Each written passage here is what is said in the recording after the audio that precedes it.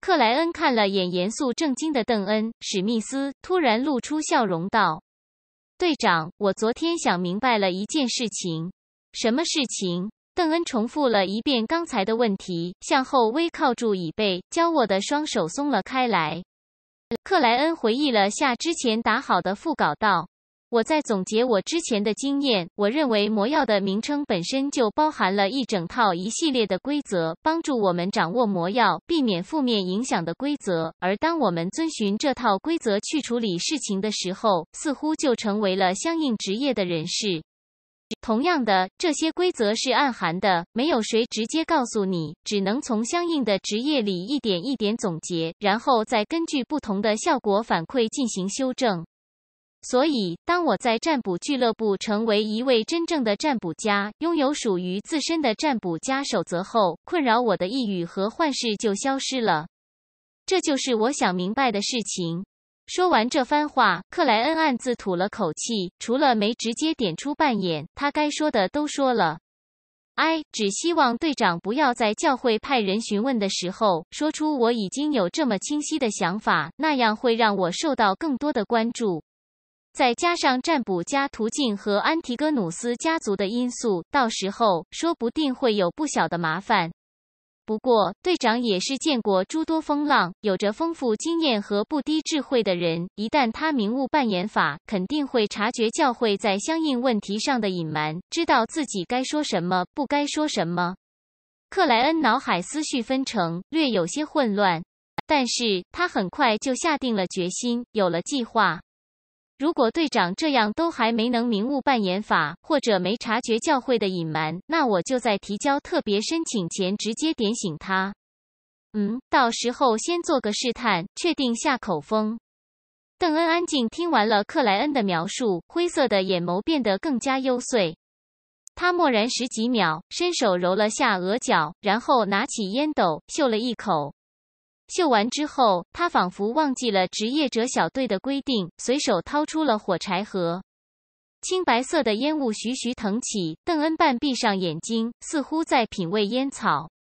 又过了一阵，他睁开眼睛，对克莱恩笑笑道：“抱歉，忘记你不抽烟了。吸烟有害健康。”克莱恩一本正经的回答。邓恩拿着烟斗，想了下道：“我似乎也明白了一些事情。”不，队长，你什么都没明白。反正不要经常往我梦里游荡。克莱恩没开口反问，只勾勒出温和的笑容。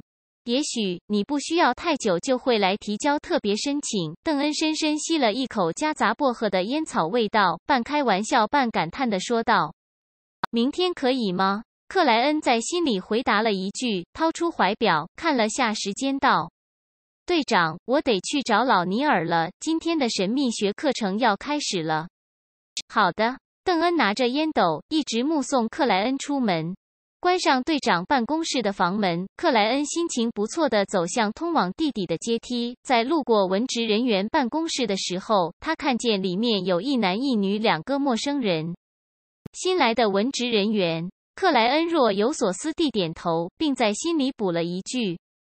再隔两天，这周之内就向队长提交特别申请，然后通过一系列的考察，成为序列八的小丑。幽沉安静的地下通道内，克莱恩拐向武器库，推开了看守是虚掩的大门。你发生了什么事情？他一看见老尼尔的样子，就吓了大跳。老尼尔精神萎靡，脸色青白，不断的打着哈欠道。我最近有些便秘，昨晚尝试了一个解决这方面问题的仪式魔法，结果结果我整晚都没有睡好，一直往盥洗室跑，到了后来，我差点在马桶上睡着。嗯，便秘问题得到解决了，见不是大问题。克莱恩顿时有点想笑，但他克制住了自身，转而问道：“现在好点了吗？”与此同时，他关切地让左边牙齿轻叩了两下，用灵视观察起老尼尔的健康气场。消化系统的黄色，排泄排毒位置的橘色，有点暗淡和斑杂，但还好在合理范围内。克莱恩暗自松了口气，没事了。我找福来要了点止泻的药剂。老尼尔就像烟鬼般打了个哈欠，道：“今天的神秘学课程你自修，反正也就最后两三天的内容了。”好的，克莱恩客气了一句，或者我在这里看守武器库，自修神秘学课程，你去休息室补眠。老尼尔瞬间弹直腰背，目光炯炯的回答：“小莫雷蒂，你果然是职业者里面仅次于弗莱的有良心者。武器库就交给你了。”他拿起铺在膝上的毛毯，旋风般冲出了看守室，留下克莱恩一个人在那里发呆。上午时分，黑金吉安保公司接了单额外的生意，护送一位富商去码头和人交易。伦纳德·科恩离轻松完成，赚了不少外快，让克莱恩颇为羡慕。而他依旧按部就班地深入神秘练习枪法，被不知受了什么刺激的高文老师发了疯般折磨。呼呼，克莱恩张着嘴，大口喘着气，好半天才恢复去洗澡换衣的能力。离开高文家后，他继续忙碌，花费二苏勒雇佣了一辆出租马车，依次路过剩下那十处有红烟囱的房屋。当最后一个暗红色的烟囱从他视线里远离时，克莱恩的表情变得非常凝重。我占卜中见到的红烟囱房屋不在最近更换过租客的行列。这样一来，事情就麻烦了。一千六七百的房屋，不知道什么时候才能排查完。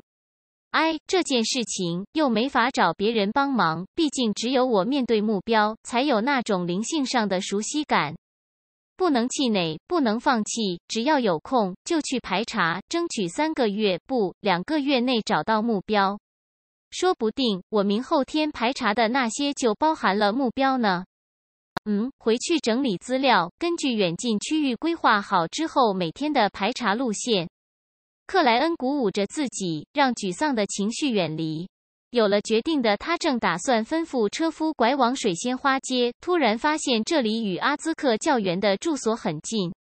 阿兹克先生去旅游前写信告诉我说他这周会回来，但没提具体是几号。正好顺路过去看一看，留张纸条给他。嗯，出租马车二苏了一个小时，现在差不多要到时间了，就以阿兹克先生家为终点，之后换公共马车。克莱恩迅速做出了决定。过了四分钟，他走下马车，来到阿兹克家门外。这里的档次明显好于水仙花街，但又不如豪尔斯街区。房屋前方有草坪，后面附带小花园。叮叮叮，克莱恩拉动门口的绳索，敲响了屋内的铃铛。等待片刻，他听见里面有脚步传来，接着便看到大门被打开。五官柔和、肤色古铜的阿兹克出现于了克莱恩眼前。因为在家，他只随意的穿着白色衬衣、棕色马甲和棕色长裤。克莱恩，我正想写信给你。阿兹克热情的招呼道：“我昨晚刚到家。”克莱恩深深看了眼他右耳下方的那颗细小黑痣，道：“阿兹克先生，我找到你过去的线索了。真的。”阿兹克的表情一下变得激动，带着沧桑意味的眼眸都失去了淡然。我们进去说。克莱恩左右看了一眼，阿兹克飞快点头，让开位置，任由客人入内。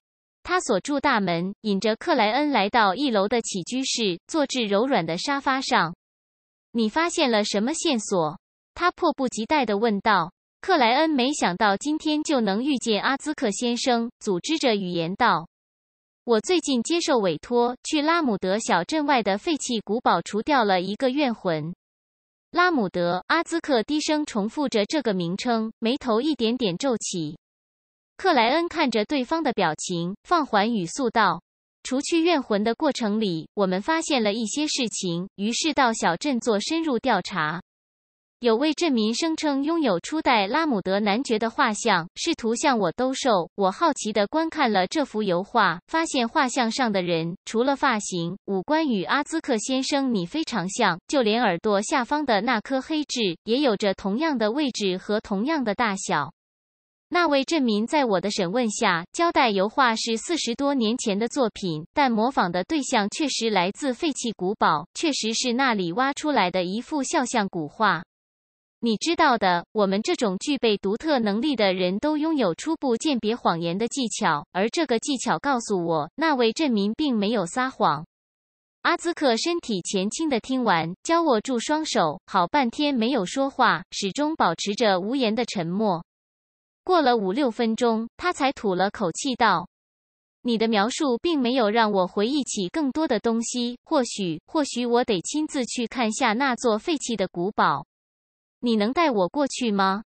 这是我的荣幸。”克莱恩早有准备的回答道：“但我需要回家一趟，免得哥哥和妹妹担心。”没有问题。阿兹克唰的站起，